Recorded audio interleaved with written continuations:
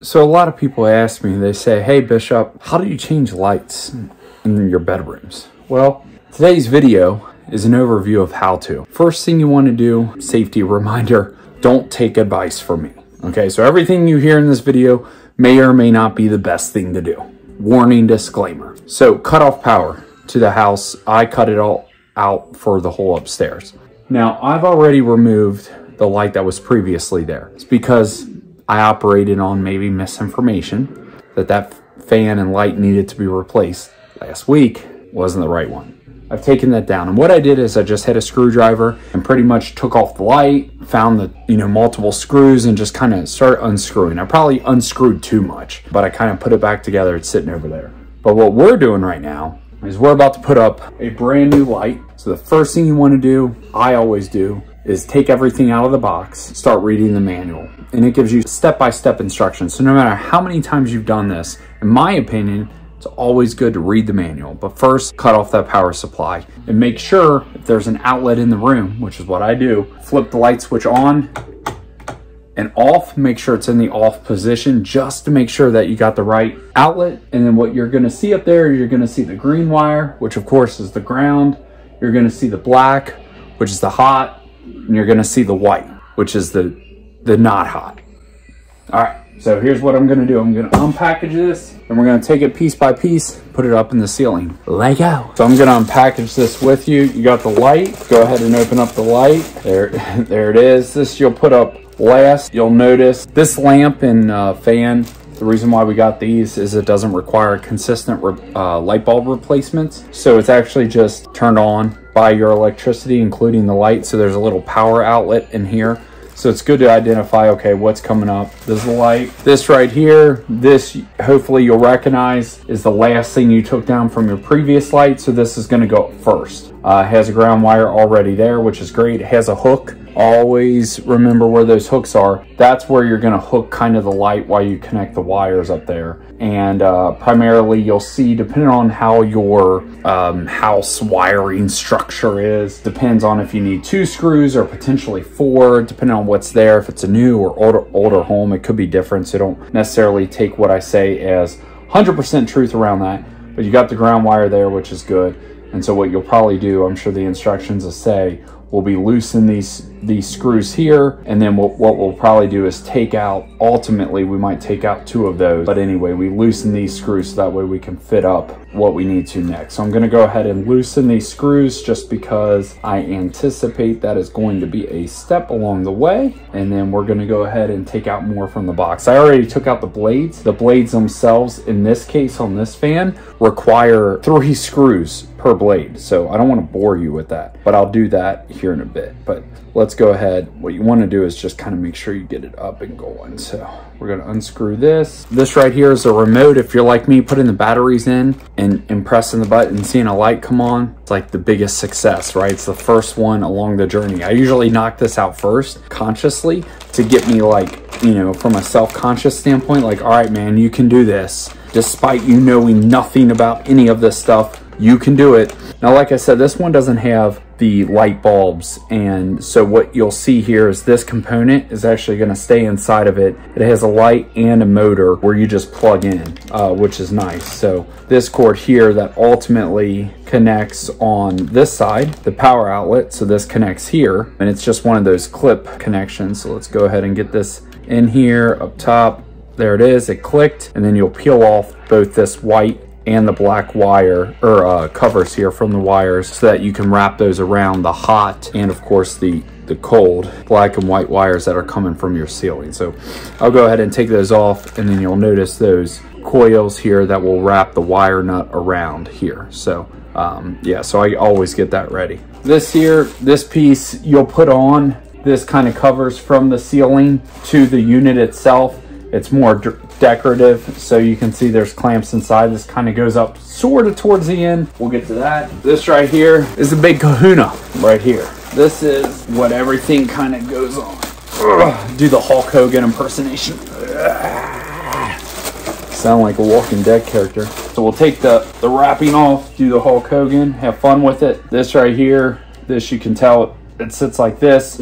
So that decorative piece is gonna go on top. We'll undo the twisty tie here. These right here are the wires that are gonna connect into that black box I just showed where it said light. This right here is what your light ultimately is gonna finish on. And then obviously here's where the fan blades are gonna go. This hook here will actually be what we put on this hook. See that little hook? Probably can't, yeah, there, you can see it kind of right there. So ultimately, when you put this up, you put this up first, then when you try to lift this on, let's try to find it here. You can connect it and then look at that. Look at that, huh? See how it holds it up there? And that also helps you know if you've uh, tightened your screws long, tight enough so that it can withstand. So we're gonna go ahead and put this up and go from there. It tells you look at what outlet, depending on what one, you do screw inside these little sonic rings inside the washer, okay? So that's how you do that. And that's the first step. So let's go ahead. See how it says take out two of those? You take out two of those. Make sure your power's off. Go ahead and install. Mine is an octa... Uh, I guess I didn't need those in my mouth. Mine's an octagon box. So let's go ahead and put this up. Hey! Don't stare at my derriere. Ah, so you feed the wire, the pre-existing wires through this big hole here. So that way you can ultimately connect them. Then you put this thing around so you can find the holes that it needs to go in. Now I found my two. Put one of these in here. Start feeding that up. Ah, oh no. Oh no. If you're someone like me who has no upper body strength because you haven't been doing your iron gym like you set out in college like you would do, sometimes you need to take a break. All right. That's up there. Let's move this around. It looks like I lost my placement. There we go. Once that's secure, almost push, try to push down on it Make sure it doesn't wiggle at all because you're about to put something on it. Now this here, it looks like there was an extra ground wire. I don't know what's going on with that, but I'll take that off. That probably goes with the old fan or if they replaced the light, they left this one up there. I don't know why. It wasn't connected to anything. Again, you cut off power, so I had to open the window in order to get some natural light. So now once that's on there, second thing is put up the decorative ring before you put up the big unit, okay? So you have to put the decorative ring because if you put the big unit up before that, that decorative ring isn't going to fit around the big unit. So let's go ahead and do that. And then what we're going to do is we're going to put the, the big unit on our little hook there. Kind of what I showed. Did I write this? No. So we have decorative ring. We got this guy. We're feeding this through like so. Try to put it around here like that so it doesn't get in your way. Kind of push it down. Now find the hole to hook on the latch.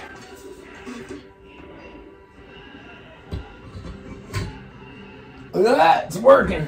All right, move your step ladder around to continue. Okay, so this is the scariest part of it all because you're like, yeah, power's off, switch is down, but, right? What we wanna do now that it's up there is take our box that we have the black and white wires to. We want to connect those to the black and white wires that are coming from the house, the hot and the cold. Then you take the wire nuts and screw those on. Use the ones that come with the system. If you use bigger ones, it could slip out and uh, kind of not work, right? Short circuit. Once you connect these, in this case, this one's a little bit unique. You actually tuck this in inside the light, which I've had difficulty with the other room when I did this, like trying to get that up there by myself. But granted, I was standing on a bed and had deer legs, right? So it's a little bit different. But once you plug this in, then you connect the wires, make sure the light and motor are on, set it inside, then you kind of lift and, and pull up and then tighten those screws. So I'm going to put the screwdriver in my back pocket to have it readily available. He's climbing the ladder, razor removed. He's going to get the belt. All right.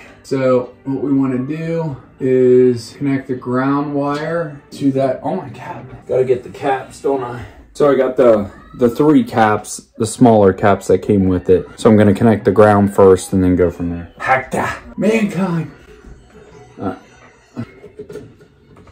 So now that I've connected all the wires, starting with the ground wire, I'm to try to kind of twist this up and get this in there and then tighten the screws and then test it before I put the blades on. Sometimes when you push this up, if those wires come disconnected, which I see one almost a little bit loose here, it can be a little bit frustrating, right? You might yell things you don't mean. So we're gonna hopefully prevent that.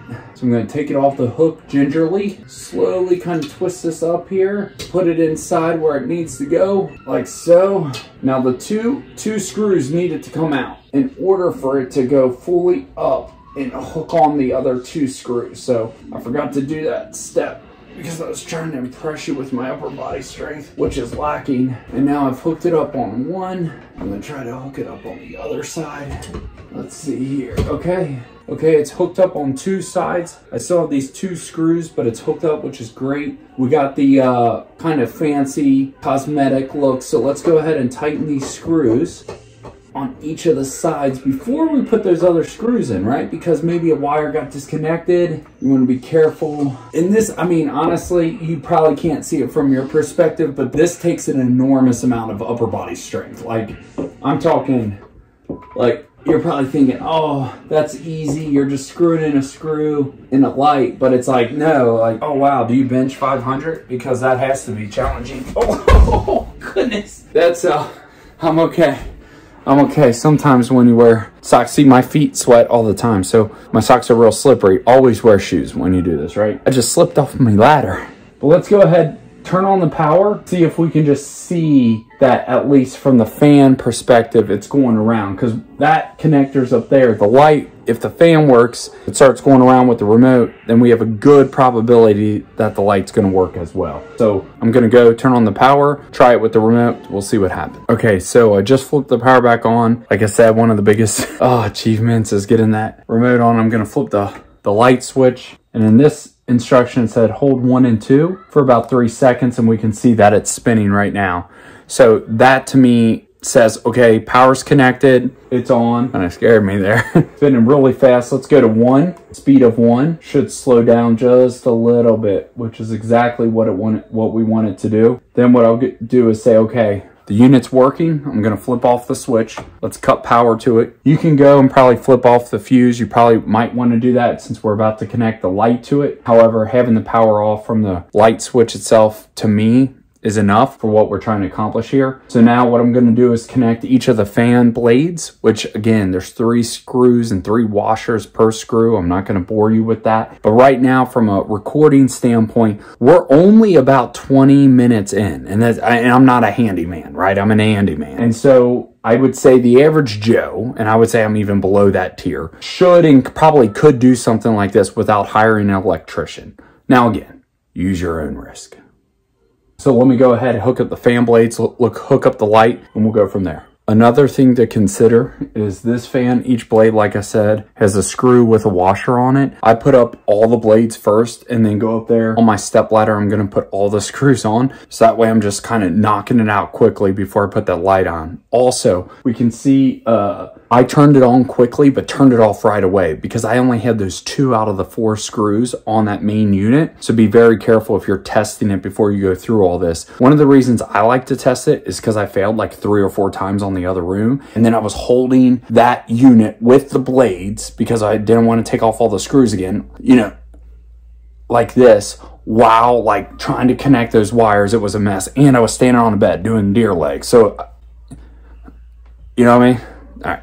So I'm gonna go ahead and put these screws in and then we'll connect the light and hopefully will be squared away. One other little life hack here is when you're putting the screws in, you're actually putting force on it. So it helps you kind of understand, okay, did I tighten those screws up top enough? You know, do you have kids that are like me who are to jump and try to you know, go around on the fan. It's a little bit wobbly, but that's only because that octagon box, I know from previous fan being in here, like one of my little ones, it just kind of pulled down on it, it didn't fall off, but that's also a good test. And then when you're dealing with fan blades where there's three screws, I always say, you know, get the one in the middle, right? And then the other ones are a little bit easier because you don't have light, right? If you're trying to do this at night and you have a cell phone, it's kind of hard to see these little holes. So that's something to keep in consideration if you're a newbie like me. Now that I have all the blades up with three screws in each blade. I'm taking the light. What you have to do is remove three screws that are already in there though. You remove those three screws from that base plate there.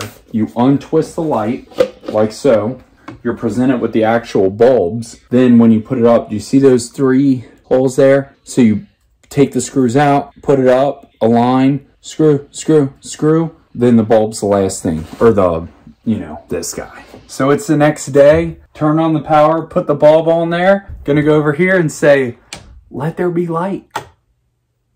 And so there was. And there goes the fan. So it's working successfully. It's a very bright light. I like it. I like the way it turned around. What I like to do is turn the fan on high, the highest setting, let it sit, make sure it's not wobbly or anything like that. But you can see the fan is blowing. The light is on there. It feels pretty good right now in the room and it was a mission success. Unfortunately, I got interrupted while I was finishing out and couldn't complete the video yesterday. But the fan is on and it is working. Thank you so much for watching. I love you guys. This is how, this was how to put up a fan in a room.